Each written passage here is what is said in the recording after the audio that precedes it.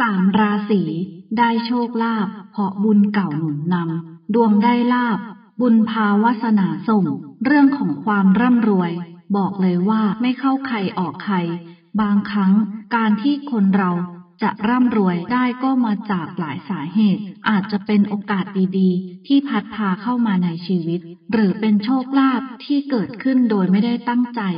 ซึ่งทั้งหมดก็มาจากบุญวาสนาล้วนๆ หากใครมีบุญเก่าที่เคยสะสมมาก่อน ก็ถือว่าเป็นแต้มต่อที่ทำให้ได้โชค ได้ลาบ ซึ่งในช่วงนี้จะมีอยู่สามราศีที่ดวงดี มีโอกาสได้โชค ได้ลาบ เพราะบุญเก่าหนุนนำทำให้ได้โชคลาภก่อนจะไปรับฟังว่ามีราศีอะไรบ้าง ให้กดไลค์กดแชร์ให้ด้วยนะคะ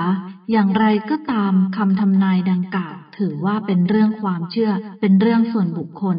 ดใช้วิจารณญาณในการรับข้อมูลค่ะสามราศีได้โชคลาภเพราะบุญเก่าหนุนนำได้แก่หนึ่งราศีธนู ผู้ที่เกิดวันที่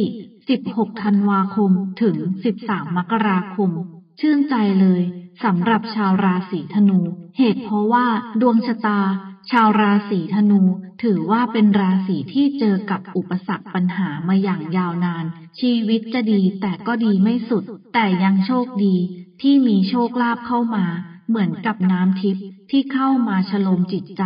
ทำให้มีความสุขขึ้นมาได้บ้าง แม้ว่าจะเป็นโชคลาภก้อนเล็กๆ แต่ก็ถือว่าเป็นเรื่องที่ดีในช่วงนี้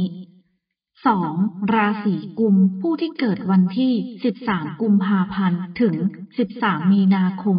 ยิ้มกว้างได้มากกว่าที่ผ่านมา เพราะในช่วงนี้ถือว่าเป็นช่วงแห่งการรับทรัพย์ของชาวราศีกุมเลยก็ว่าได้ รายได้เงินทองถือว่าดีมากกว่าแต่ก่อนพอสมควร แต่บอกไว้ก่อนว่า ตอนนี้จะมีโอกาสได้ลาบก้อนเล็กๆ ส่วนก้อนใหญ่จะต้องรอหลังราหูย้าย 17 ตุลาคมนี้ หลังจากราหูย้าย ชาวราศีกุมจะมีโอกาสได้เงินได้ทอง ได้ผลประโยชน์ก้อนใหญ่ และอาจจะได้มากเกินคาดเลยด้วยซ้ำ 3. ราศีเมถุน ผู้ที่เกิดวันที่ 14 มิถุนายน ถึง 14 กรกฎาคม